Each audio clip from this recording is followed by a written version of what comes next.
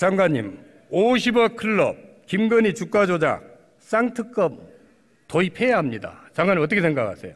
제가 여러 번 말씀드렸다시피 어, 법에 따라서 특검은 보충적으로 의- 수사 의지가 부족하거나 능력이 부족한 경우 해야 되는데요. 기본적으로 특검은 국회에서 논의할 사항입니다. 그렇지만 어떤 이 특검을 도입하려는 그 동기라다 이런 것이 특별한 어떤 수사에 대한 맞불놓기 식으로 운용된다면 국민들께서 그 제도를 어, 신뢰하지 않으실 것 같다는 우려가 듭니다. 제가 그 정도 말씀드리겠습니다.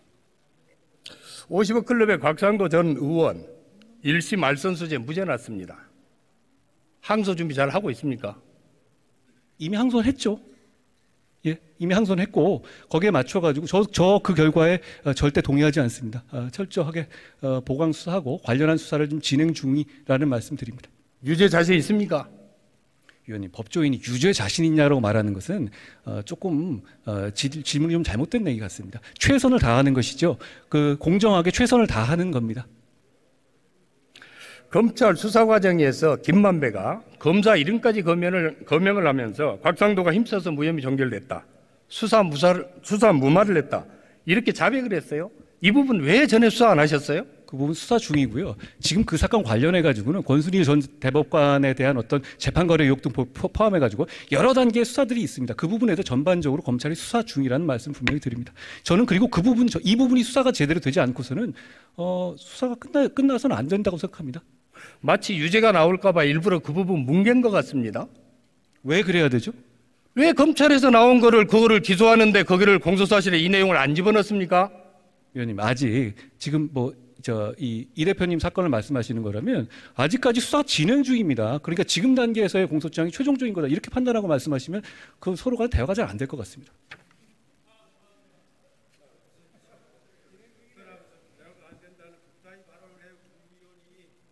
아니 장관님 50억 클럽 사건 도대체 계속 이렇게 뭉갤 겁니까? 아, 뭉갠다는 표현이 안 맞는 것 같습니다. 최선을 다해 수사하고 있다는 말씀 드립니다.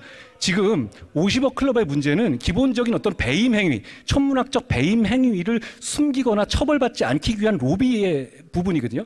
이 배임 행위의 양면이죠. 이 두 가지에 대해서 철저하게 수사하고 있고 별도로 특별 수사팀을 꾸려서 수사, 수사 중이라는 말씀 드립니다. 50억 클럽 사건 지금 수사 진행 상황 보고 받고 있습니까, 장관님? 개괄적으로 보고 받고 있습니다. 보고를 받으면 수사 진행 안 합니까? 보고는 당연히 받아야 하는 것이고요. 구체적으로 어떻게 해라 말아라 이런 건 안 합니다. 제가 여러 번 말씀드렸죠. 지금 검찰 중요 사건에 대한 수사 보고 일주일에 몇 번씩 받고 있습니까? 일주일에 몇 번씩이 아니고요. 그걸 하나하나 세부적인 보고는 중요 사건에 관한 보고를 참모로부터 받는 정도고 특별히 어떻게 뭐 일주일에 몇 번이다 그렇게 말하지는 않습니다. 예. 어떻게 하시는지 아시지 않습니까? 누구를 통해서 보고 받지요? 당연히 검찰국 통해서 받습니다. 검찰 누구요? 검찰국이요. 검찰국장을 통해서 받고 있습니까? 예, 검찰국장 통해 받습니다. 그럼 그 중요 사건 보고 내용 중에 보고 자체를 아예 못하도록 지시해 놓은 사건이 있습니까? 저는 어, 취임한 이후에 저랑 관련되거나 제가 객관적으로 관련되거나 아니면 가, 관련된 가능성이 있는 민사, 형사 모든 관련 부분에 대해서 어, 저에 관한 부분은 저에까지 보고하지 말라고 지시해 놓은 사실이 있는데 그 외에 어떤 제한을 두거나 그런 부분은 없습니다. 예를 들어서 어, 윤석열 대통령에 관한 행정소송 사건 같은 경우 그게 게, 제가 간접적으로 관련될 수 있는 부분이 있기 때문에 그것도 저는 보고받지 않고 있습니다. 김건희 여사 사건 보고 받고 있습니까?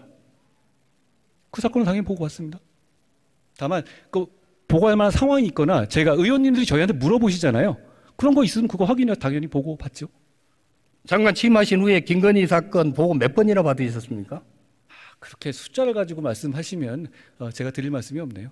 너무 많아서 들을 말씀이 없는 겁니까? 아니요. 그 이게 취임을 제가 1년 넘었는데 뭘 몇 번을 어떻게 했냐 이렇게까지 즉흥적으로 부르시면 제가 답변하기 곤란하지 않겠습니까? 말씀드린 것처럼 필요한 보고는 당연히 받는 것이다. 그렇지만 구체적 사건에서 관여하지 않는다. 이게 제 답입니다. 김건희 여사 주가 조작 사건 1심 판결에서 주가 조작에 직간접적으로 연루됐다고 판단했습니다. 왜 그런데 김건희 여사 사건 수사 안 하고 있죠? 위원장, 위원님, 그 판결에서 주가 조작에 연루됐다는 표현이 나온다고요? 맞습니까? 주가 조작에 연루됐다, 조가적 혐의가 있다는 표현이 나온다는 말씀이신가요? 잘못 읽으신 것 같습니다. 답변하세요. 잘못 읽으신 겁니다. 거기에 대해서 어, 아니 그 대부분 무죄 난 사건이 심지어는 거기 전주도 어, 알았더라도 무죄라고 한 사안에서 어떻게 김건희 여사가 그 주가 조작에 그 연루됐다라는 표현이 판결문에 나올 수 있을까요? 저는 아닐 것 같은데요. 아니 자. 판결문에 그렇게 나왔다고 하잖아요. 예. 검찰이 수사를 안 하고 있어요. 장관님. 위원님, 그 수사는 지난 정부에서 특수부 동원해서 이성윤 등 지휘하에서 한 사건 아닙니까? 검찰이 수사를 안 했다니요. 그거는 저는 무슨 뜻인지 잘 모르겠는데요. 자, 수사를 안 하면 장관 수사지휘권 발동해서라도 철저히 이거 파헤쳐야 되는 거 아닙니까?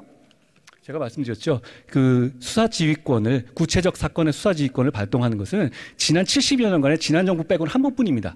그리고 그거 함부로 해서는 안 되는 것이고요. 거기에 대해서 제가 하지 않겠다고 분명히 약속 드린 상태에서 취임했고요. 저는 그 약속을 지키고 있다는 말씀 드립니다. 검찰이 공정하고 객관적으로 수사해서 결론 낼 거라고 생각합니다. 장관이 얘기하는 공정하고 정의로운 검찰, 유독 김건희 사건, 그 다음에 검찰 가족에 가면은 딱 멈춥니다. 왜 그러죠? 그렇지 않습니다. 장관님, 이 쌍특검에 대한 국민들의 지지 여론이 어떻게 되는지 알고 계십니까? 여러 가지 의견이 있을 수 있다고 말, 말씀드렸고 국회에서 잘 논의해 달라고 제가 말씀드렸습니다. 다만 아까 말씀드렸다시피 특검이라는 것이 어떤 사안을 파헤치기 위한 목적이 아니라 어떤 다른 관계없는 다른 사람을 보호하기 위한 식의 맞불놓기식으로 운용되면 국민들께서 이 제도를 신뢰하지 않을 것 같다는 우려가 있다는 말씀을 다시 한번 드립니다. 50억 클럽 특검하자는 국민 여론은 74.7%입니다.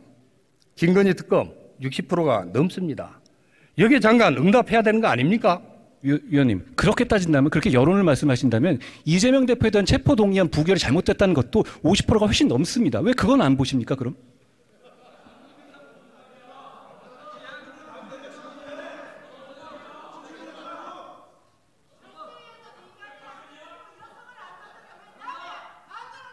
장관이 애창곡이 있습니까? 예? 애창곡이 있습니까?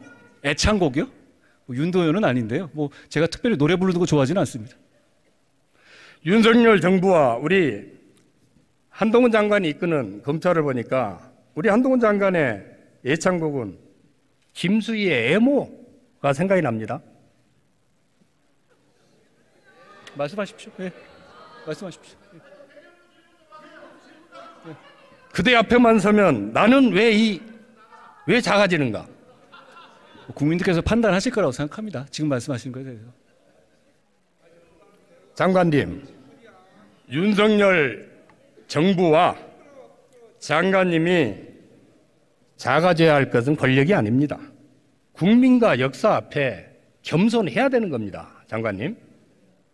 그렇게 생각하지 않습니까? 저도 그렇게 생각하고요. 다만 아니 제가 지금까지 수사에 관여했다는 점에서 저는 누가 누구 봐줬다는 얘기 지금까지 들어본 적 없거든요. 그리고 앞으로도 적어도 그 부분에 대해서 제가 어, 겸허하고 하- 하지만 제가 그 부분에 대해서는 저는 자신 있게 말씀드릴 수 있습니다. 그리고 앞으로도 마찬가지일 거라는 약속도 드립니다. 우리 국민의힘 여권에서 어, 한동훈 장관에 대한 차기 총선 차출론 얘기가 나오고 있습니다. 고민이 많을 것으로 생각을 합니다. 고민 전혀 없고요. 저와 무관한 얘기입니다. 장관님 본인의 취임사 기억하고 계시죠? 제가 어, 어, 열심히 썼던 기억이 납니다. 가장 중요한 키워드가 뭐였죠? 키워드요? 글쎄요. 전체적으로 제가 취임사 쓰다 보면 하나하나 말을 다 힘을 줘서 썼기 때문에 특별히 하나의 키워드라고 말하기는 어려울 것 같은데요. 일을 잘하겠다는 취지입니다. 정의와 상식의 법치를 지향하겠다고 말씀을 하셨죠. 그러려고 노력해야 한다고 생각합니다. 중립적이고 공정한 검찰을 만들겠다고 약속하셨죠. 노력하고 있습니다. 검찰이 그렇게 되었습니까? 저는 그 목표, 목표, 목표를 어, 보고 현재 어, 열심히 일하고 있다고 생각합니다. 형사사법 기간 중에 검찰이 신뢰도 공정성에서 꼴찌를 했습니다. 장관님, 정의와 상식을 바탕으로 한 법치 해야 되지 않겠습니까? 말씀드렸다시피 노력하고 있고 앞으로도 그럴 거라는 말씀드립니다. 진실은 많은 말을 필요로 하지 않습니다, 장관님. 정의와 상식을 바탕으로 한 중립적이고 공정한 검찰 만들어 주셔야 됩니다. 하시겠습니까? 제가 그 말씀 명심하고 그 점에 대해서 위원님하고 생각이 다르지 않을 것 같습니다.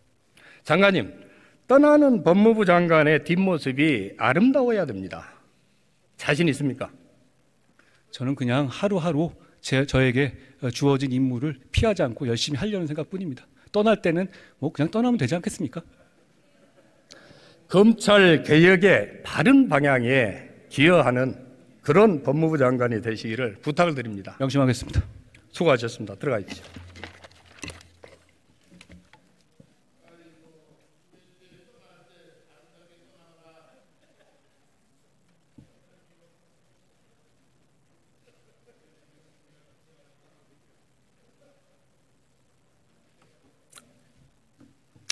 존경하는 국민 여러분, 봄꽃이 만발했지만 국민의 삶은 아직도 추운 겨울입니다.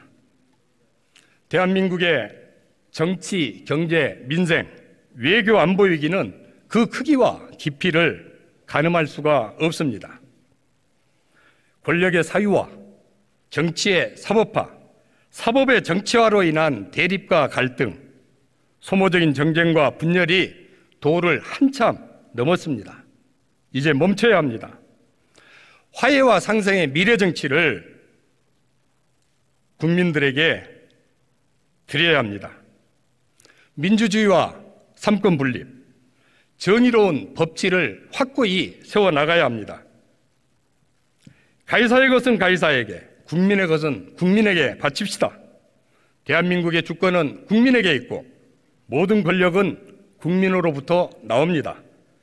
국민이 주인인 민주공화국의 가치와 국민의 삶을 반드시 지켜내겠습니다. 경청해 주셔서 감사합니다.